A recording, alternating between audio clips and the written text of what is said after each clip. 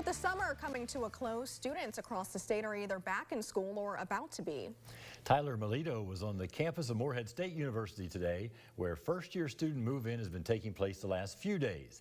He joins us now in the studio with more. Tyler. That is right, Marvin Amani, with classes starting this coming Monday at Morehead State. Students and school officials alike are getting ready for what is a historic year for the university. It's historic because we're starting our 135th year of educating students right on the side of this mountain. It's also historic because we're celebrating 100 years of public support as a state-supported university. After more than two years impacted by COVID 19, it is nice to finally have a relatively normal school year. We say our, our campus is back to normal. Over the past two years, we've welcomed students back only seeing their eyes. So it's good to see smiles on campus, both literally and figuratively. We really feel like we're poised to have a great year at MSU.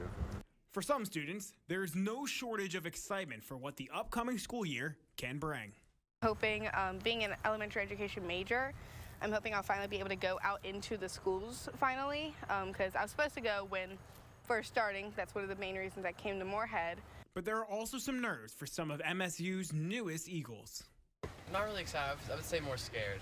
Really? yeah, more nervous. Excited, but like not like as excited as I should be, I guess. Parents too have their thoughts on sending their kids off to school once again.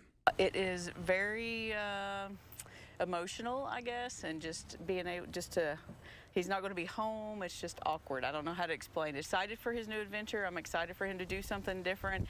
Regardless of what obstacles may come about this school year, students can expect to have a support system unlike any other around them.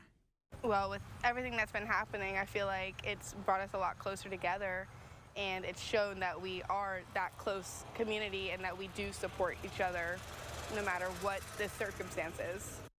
Marvin Amani, as a recent college graduate, I'd be lying if I didn't say I'm not missing the excitement of moving in and starting yet another school year. More than 9,000 students are expected to be taking classes at MSU this year. For Fox 56 News, I'm Tyler Melito. I get it. I'm sure they would have liked for you to help them move in. Thanks, Tyler.